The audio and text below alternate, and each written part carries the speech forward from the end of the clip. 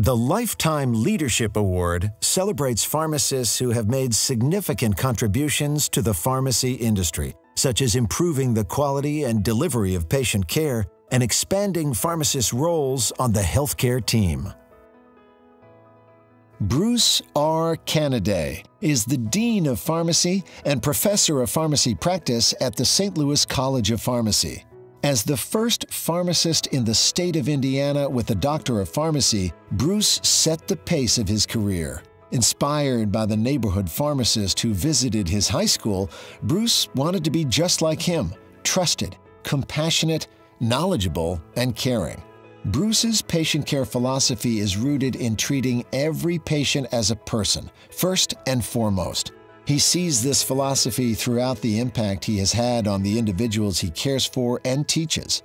Honored to have been selected by his peers to serve as president of multiple professional pharmacy organizations like the American Society of Healthcare Pharmacists, Bruce's collaboration with professional colleagues speaks to his personal philosophy, which encompasses leading when you are needed and being worthy of others' trust, to name just a few. In the future, Bruce sees pharmacists as continued, trusted, accessible providers who are responsible for and accountable for achieving optimal patient outcomes. Deborah Goff is the infectious diseases specialist and associate professor at the Ohio State University Wexner Medical Center. Deborah's inspiration to enter the field of pharmacy came from her work at a local retail pharmacy while she was in high school. Through the mentorship of her boss, Deborah set forth on the path to practice with excellence, innovation, positivity, and kindness.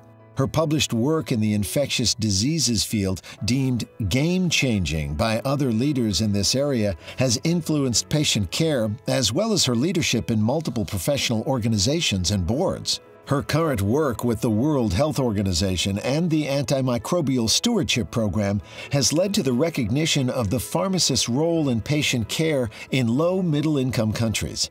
Deborah hopes to see U.S. pharmacists expand their global footprint to advance the profession of pharmacy in countries in need of clinical pharmacy services. Suzanne M. Highland is the Senior Director of Business Strategy, Patient Safety, Organization, and Growth at Walmart Health and Wellness. Suzanne's first job was helping her hometown pharmacy at age 12, and she's been passionate about pharmacy services ever since.